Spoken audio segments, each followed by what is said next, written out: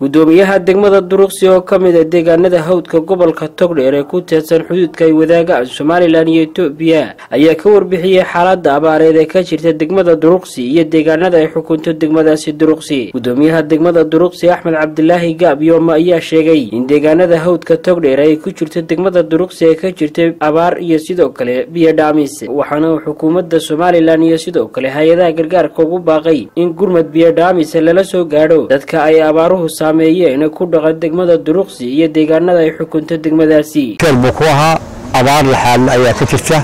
Runtii oon odhan karo imika waxay maraysaa halkii ugu dambeysay abaartu ayay maraysaa ayaa ka jira. Biyana waa ka dheer yihiin. Halka ugu dhow imika laga soo qaadaa waa ceel laga harada gubataxil oo ayaa laga soo qaadaa biyo ilaa soddon kilomitir ama shan iyo soddon kilomitir u jira. Dhammaan deegaankuna waa wada biiraayahay. Maa degmada guryaheeda maaha dhammaan mactuulooyinkeeda waa biiraayihiin halkaasaa biyo noogu dhow iyo burco alxamdulilah rabbilcaalamiin de si aan ku cadnaba waxbaa helaa si aan ku cadnaba ama gobol aan ka helo ama dowladda aan ka helo ama dee dadkaa bulshooyinta ee kale aan ka helo waa dhib baa haysta culays baana haysta waxaa noogu daran goobaha qaxoontiyaasha oo aniga runtii laba meelood ka degan oo meel allaangelilay oo hareed wataxil u dhow iyo duruqsi gudihiisa oo cagabta agteeda oo gaaraya afar boqol kuwaasaa noogu daran oo aan iyagu saacad qura noolaan karin biyo iyo baadla-aantoona dadka waxa kale degaan baabiska waxa laga yaaba inay meelaha mirmiirano ama u mirmiiro ama ay laftooda dee ay iskaabaan oo ay iskaabaan. Kuwa noogu daran waa kuwa.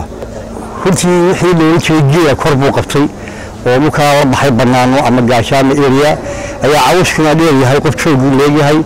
Adigu biyuhuna teelteel ku yihiin laakiin biyo ka helaan iyo riigag xagga etoobiya ay ka samaysay xagga gaashaamo oo geelu ka cabo.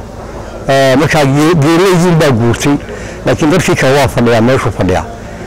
Iyadoon xoolo badan ba aanay jirin laakiin wuu fadhiyaa. De waxaan ku baaqayaa. Runtii iyadoo baaqaygu liiskeedahay waxaan ku baaqayaa in dadka ilgaara lagu eego sida kuwa qaxoontiga kuwii kale xoolaa ahaa toban tobankii u soo haray soo kabanayeen masaariif bay ka dhigteen. Dib bay ee uga bilaabeen.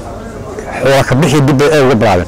Tobankiina ka dhammaadeen dee waxay ka dhigteen masaariif iyo raajibay ka dhigteen kii toban kuwa hayeen iyo kii aan u hadin maanta waa isku raq weeye isku meel bay taageen waxaan codsanayaa in gumarka loo xoojiyo runtii iyo ilaahay baan ka baryaaya in ilaahay roob degdega lagu keeno laakiin in gumarka loo xoojiyo ayaan farayaa dowlad ahaan iyo hay'ad ahaan hay'ada khaliil barra awraan t v-ga qaranka somalilan magaalada burco